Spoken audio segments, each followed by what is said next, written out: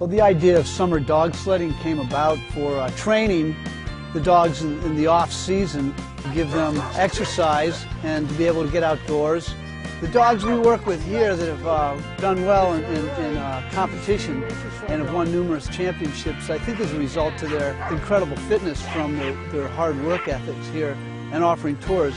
When we show up at the races, there are few, if not, not any other teams that are fitter than the dogs that come from the Eden dog sledding kennels. On by! Gee! The cart we use for the summer is basically a, a, dog sled on wheels. It's designed and built in Germany. It's custom made.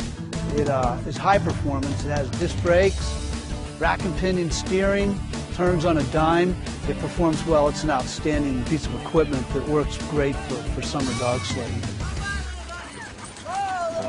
We think that this place is so special because it's in Eden and it looks like Eden. It's beautiful and it's far from civilization, so it's kind of like a haven. Well, briefly, what sets Eden Dog Sledding apart from the rest of the other uh, kennels is that unchained. We, we uh, don't chain the dogs here. It's important to uh, their lifestyle and to us that they're well cared for, have a better quality of life. They uh, return that in their performance and demonstrating how much they love the, the sport and to run and uh, interact with the guests and being personable. We push them all up there in the lead and just practice, practice, practice. They teach each other. I, I do very little training. They, they train, they work with each other.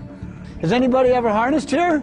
You have? We learned how to harness the dogs. We also learned about some of the reasons why you would pair the different dogs together and how you set up dogs the board. Around. Here's our board, and we got a mix and match.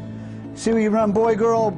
A lot of thought goes into the placement on the line. Yes, it's a great learning experience, but it's really fun at the same time.